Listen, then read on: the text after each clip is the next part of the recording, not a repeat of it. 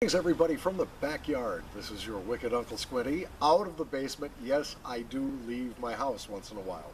And I was very pleased to find today a local tobacco shop in this 25,000 population town that actually sells nasal snuff. Now ordinarily, since this is a readily available snuff in the United States, I guess, I probably would not go to the trouble of reviewing it, but since my local brick and mortar sold it to me, I gotta give it a plug if nothing else. This is the Toque Silver Dollar American Snuff. This is the natural.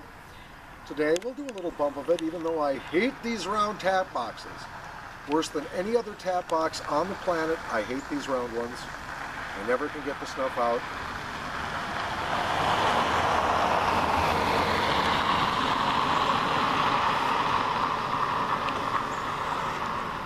Okay, I'm guessing that this is a Virginia base. There's a little burn to it. Boy, it's not bad. It reminds me very much of the Toque Natural, but that's not a surprise. Um, I like this, but I don't like it well enough to give it a 5 or even a 4. I'm very pleased that my local tobacco store is carrying at least this brand of nasal snuff. At least I'll be able to find it there. But there are better natural scented snuffs out there on the Squinty scale where one is disgusting and five is marvelous.